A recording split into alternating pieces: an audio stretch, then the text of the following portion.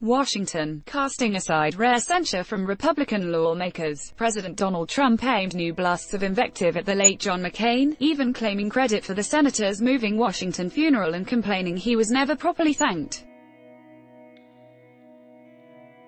By the time the president began his anti-McCain tirade in Ohio on Wednesday, several leading Republicans had signaled a new willingness to defy Trump by defending the Vietnam War veteran as a hero seven months after he died of brain cancer. One GOP senator called Trump's remarks deplorable. Trump then launched a lengthy rant in which he claimed without citing evidence that McCain had pushed for a war and failed America's veterans. I gave him the kind of funeral that he wanted. Trump told reporters at a campaign-style rally in Lima, Ohio. I didn't get a thank you but that's okay. In fact, McCain's family made clear that Trump was not welcome during the week-long, cross-country ceremonies that the senator had planned himself. Instead, McCain invited former Presidents George W. Bush, who defeated McCain during the 2000 GOP nomination fight, and Barack Obama, who defeated him in 2008, to deliver eulogies on the value of pursuing goals greater than oneself. Trump signed off on the military transport of McCain's body, went golfing and was uncharacteristically quiet on Twitter during the Washington events. Trump's publicly nursed grudge against McCain has not appeared to alienate core supporters, some of whom had soured on the senator by the time of his death. Aware of this, GOP lawmakers until now have stayed subdued or silent though Trump sometimes infuriated him with his comments on their late colleague. McCain's allies suggested it was time for that to change. I hope Trump's indecency to John's memory and to the McCain family will convince more office holders that they can't ignore the damage Trump is doing to politics and to the country's well-being or remain silent despite their concerns, said Mark Salter, McCain's biographer.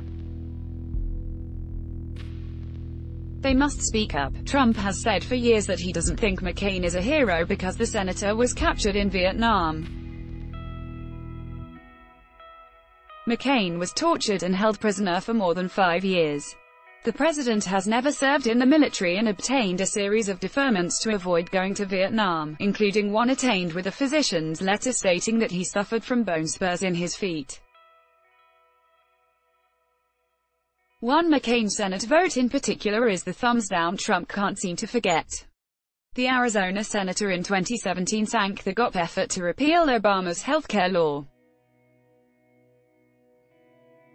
Trump was furious, and it showed even in the days after McCain's death last August. The administration lowered the American flag over the White House to half-staff when McCain died on a Saturday, but then raised it by Monday.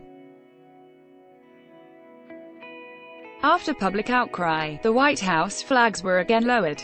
This week, Trump unloaded a new series of anti-McCain tweets in which he said he never had been a fan, and never would be. His relentless new targeting of the deceased senator seemed to cross a boundary for several Republicans.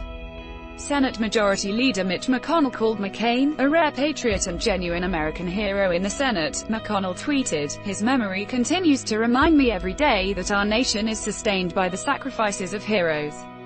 The Kentucky Republican, who is up for re-election next year, never mentioned Trump, but others weren't so shy. Senator Johnny Isakson of Georgia said not only the McCain family but the nation deserves better than Trump's disparagement. I don't care if he's President of the United States, owns all the real estate in New York, or is building the greatest immigration system in the world. Isakson told The Bulwark, a conservative news and opinion website. Later, Isakson called Trump's remarks deplorable. It will be deplorable seven months from now if he says it again. Isakson continued in remarks on Georgia Public Broadcasting's Political Rewind radio show, and I will continue to speak out, Utah Sen. Mitt Romney, the GOP's 2012 presidential nominee whom Trump briefly considered nominating as Secretary of State, tweeted praise for McCain on Tuesday, and criticism of Trump.